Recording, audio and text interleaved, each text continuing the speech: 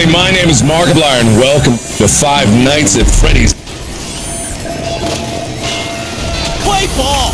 Yo, let's go! This isn't Five Nights at Freddy's anymore.